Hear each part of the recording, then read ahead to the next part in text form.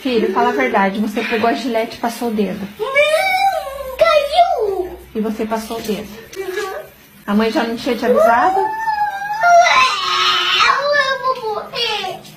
A mãe já tinha te avisado que isso ia acontecer. Eu vou morrer, mãe. Eu vou morrer. Vai.